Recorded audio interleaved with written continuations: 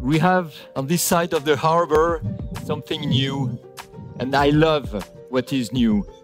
We need pioneering spirit. We need to change the paradigms. We need to invent. And the master word is efficiency. How can we become more efficient in our world? How can we reduce the resources we need in order to have a higher outcome? And Circular Explorer is showing very practically what we can do.